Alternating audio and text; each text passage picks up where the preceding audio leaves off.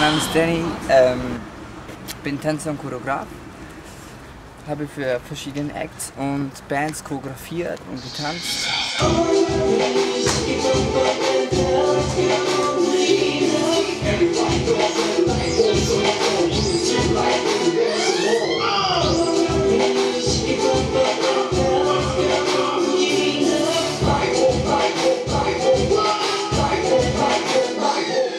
Bestimmte Schrittfolgen Folgen merken, ja? das ist bestimmte Choreografie.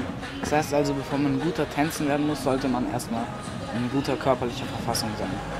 Also man muss nicht in guter körperlicher Verfassung sein, denn wenn man Hip-Hop intensiv macht, äh, kommt man schnell zum Ergebnis.